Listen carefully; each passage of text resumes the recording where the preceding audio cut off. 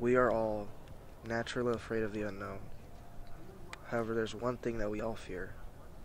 Is inevitable.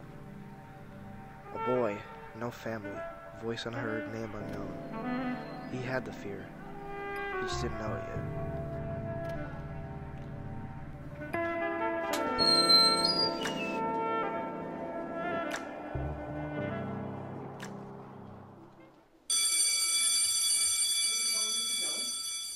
The arsenal, take all the weapons, arm all the freed slaves, and then they will go and kill and fight their old masters, leading a slave army throughout the South, freeing all the slaves and independence, you know, for all enslaved individuals.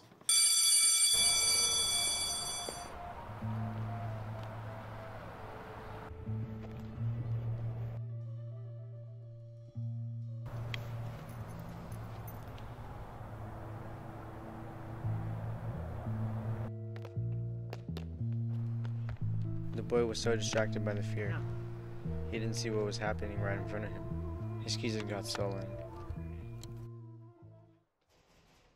He had to turn to his friend.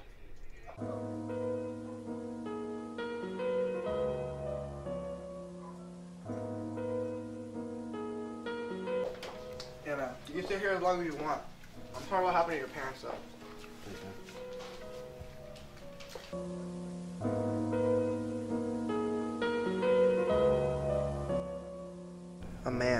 same as the boy. A local by the name of Jeremy Moore has just died by a fatal car accident. With the boy's friend gone, he had nowhere to go. He'd rather stay isolated than fix his position. He was afraid.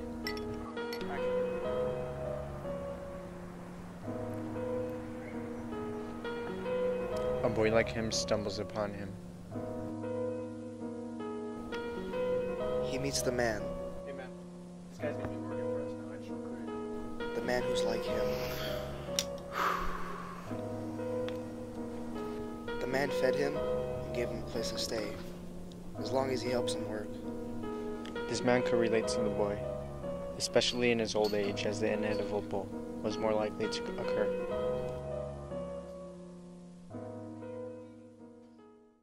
And in fact, it did.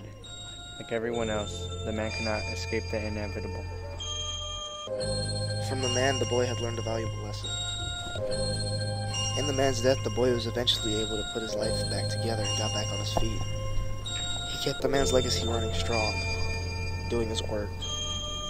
Through this, he learned that living your life and afraid of the inevitable, happening at any moment, is no way to live life. He no longer wished to waste his life. He took this lesson with him, all the way to his grave when the inevitable occurred.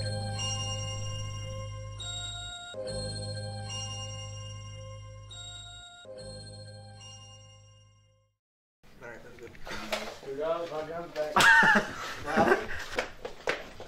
Oh, god.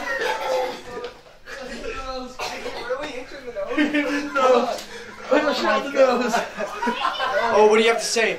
What do you have to say? Did you win this one? I got shot in the nose.